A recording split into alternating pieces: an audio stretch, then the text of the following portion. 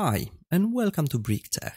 If you're watching this video, you most probably know something about Streamlabs chatbot already, but what you may not know is that you can run this software for Twitch, Mixer, and YouTube at the same time.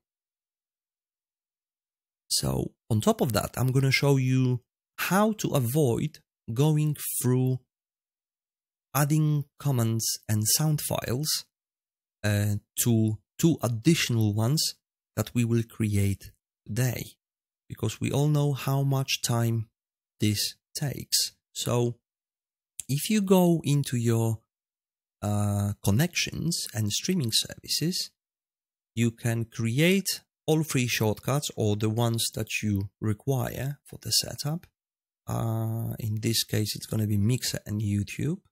And you have to launch YouTube and Mixer from these two shortcuts in order for the settings folder to be created in a services folder in your Streamlabs chatbot, which is located in whichever drive you have it you have installed.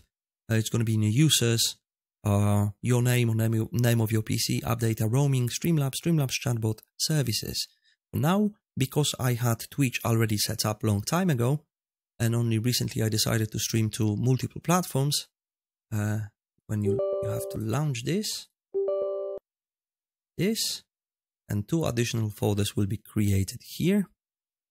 So now while this uh, is launching, well actually we're gonna wait a second for the first one to start up so you can see obviously as the settings folders have been created for these two uh, there is absolutely nothing set up and uh, if you will be running stream to multiple platforms if you set up one and if you have to spend the same amount of time to set up the other one, just waste of time.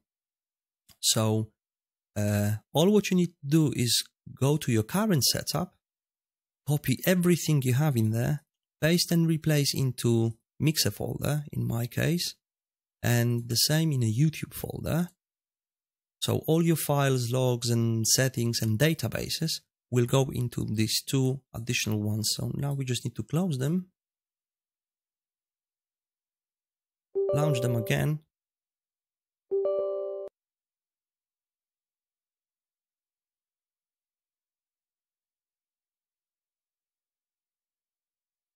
See, so now in the future, if you uh, get more sound files or you add more comments and you add, add them to this one, you don't have to go through the same process uh, adding them to this one. Well, if you're adding only one, yeah, it doesn't take that much time. But if you have like as many, then to go through that here and here would take you forever and a bit. You would probably lose one day to play with this. So now you can see everything uh, is already here. You have sound files added and you have all the comments. Basically, every single setting, uh, every single one of them is copied to your new setups. The only thing you have to do is connect to your streamer and bot account and the same here. That's it.